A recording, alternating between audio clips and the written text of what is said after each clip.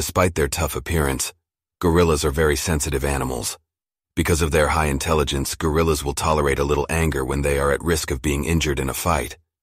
When gorillas are under such intense stress, their armpits become sour and they suddenly have diarrhea, just like humans do. The gorilla's face is always in deep thought, perhaps because it is constantly worried about something.